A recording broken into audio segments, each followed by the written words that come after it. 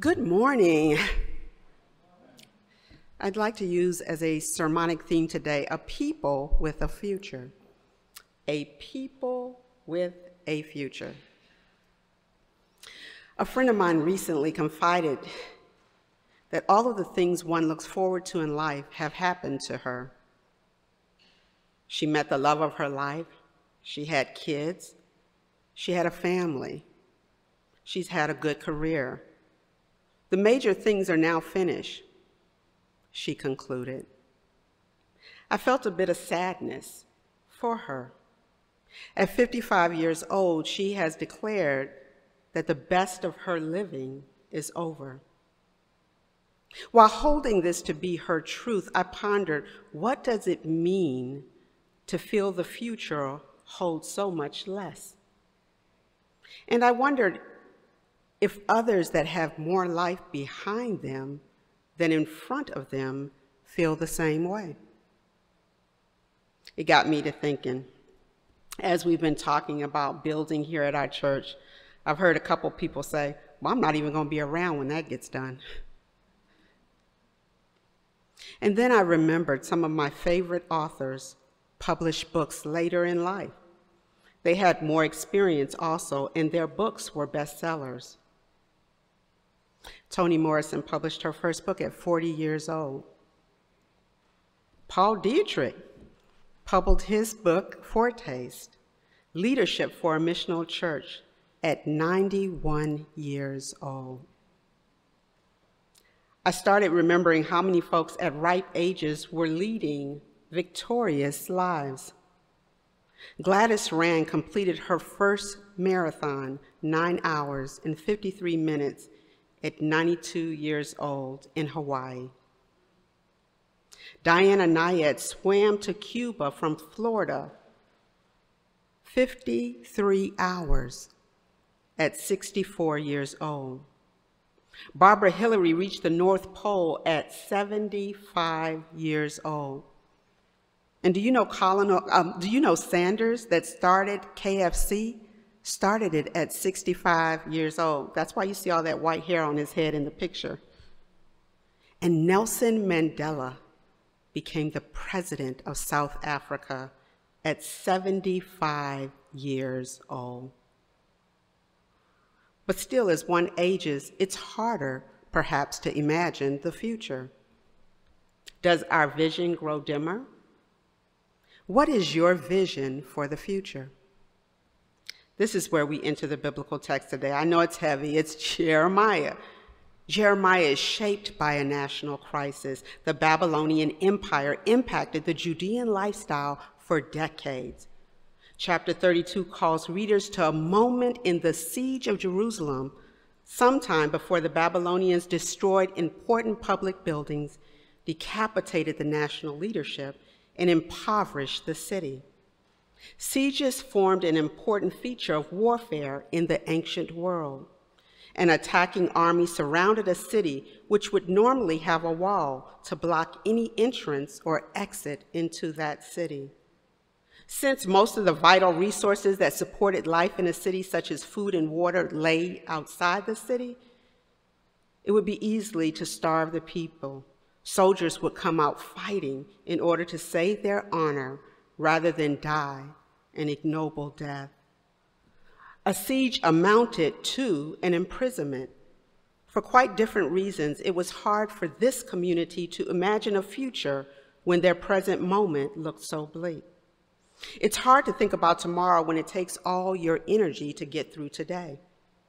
Last week at the TPIRC summit, one presenter said the church came out of COVID and 50% of our congregations did not return. And we are disoriented. This morning I was watching a mega church, pews empty. Where do we go from here, folks? Folks are leaving and not coming back, or so it seems. We've been open a year. The church is shifting, and some are beginning to wonder does the church have a future? The text today is bleak. There ain't no sunshine. Professor Steed Davidson over there at McCormick Theological Seminary says hope in a future is hard to come by, and that Jeremiah is reaching in this particular passage. He believes it is an unrealistic burden placed upon Jeremiah. There is no hope here, it just cannot be found. Maybe sometimes you have felt like that.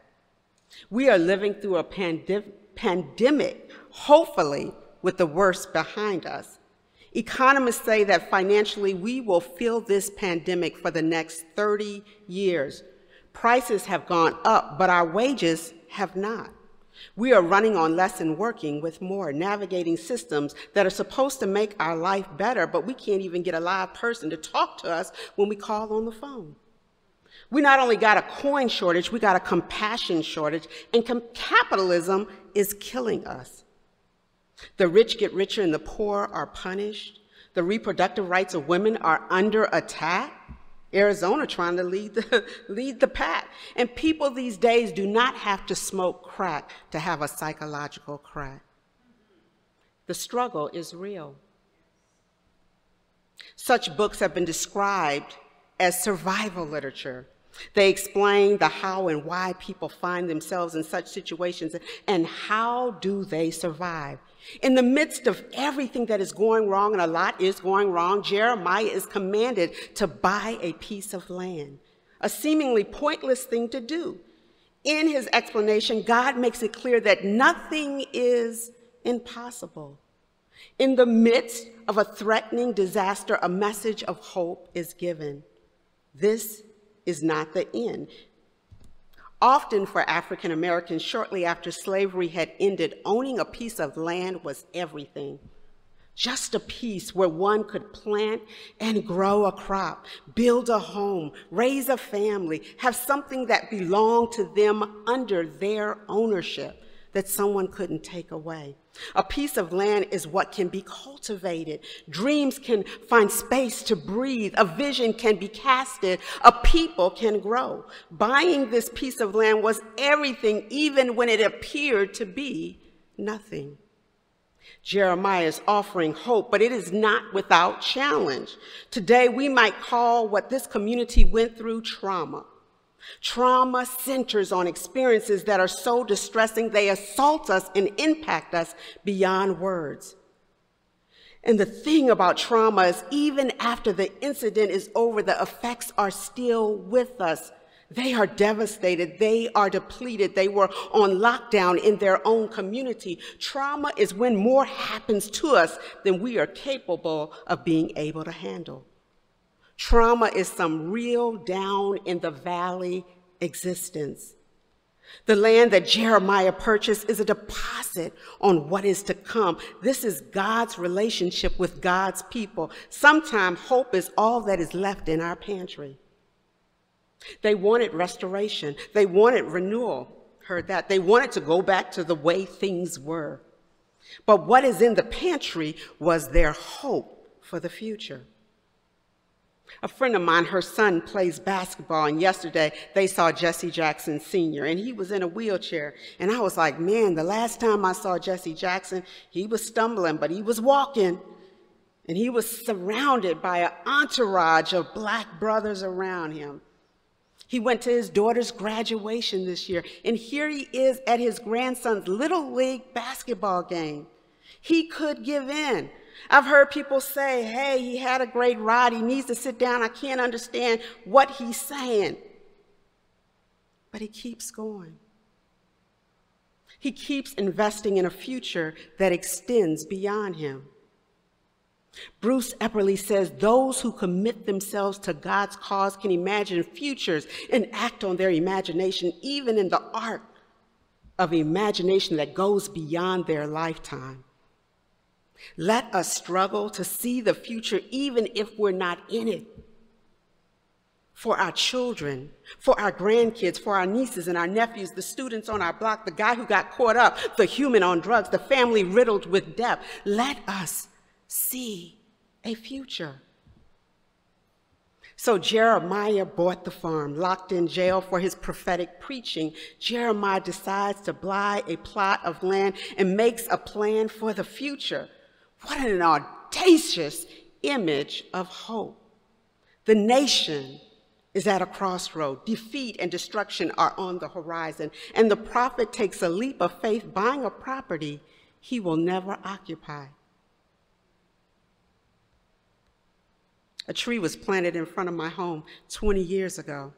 It was a small little scraggly thing, but it's not that anymore. It's providing shade and it's growing large. They even had to cut off some limbs. That baby is growing large. That tree I know will live into a future that we probably will not see. We are supporting bees because bees support us and we need them in a future that we will not be around for. Mother Earth is crying out that we conduct ourselves a whole lot better for a future that we won't be around for. We will go to games and we will buy fundraising stuff from kids that we don't need, and we will whisper affirmation in our young adult ears. We will support causes that have impact, and we will give generously to support the work of the larger church for hands that can reach farther than ours can.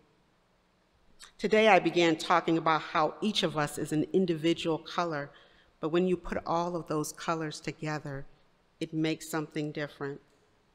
We do something that we don't do anymore, but we have something called a potluck. what's amazing about a potluck is when you start out, there's nothing on the table. But then each person brings what they have in their home. We kind of do potluck with offering too. We invite you to give. Over and over again, we practice this sense of generosity. We are a people, even if we won't be around to see it, that have a future. Because we are a people with a future. Amen.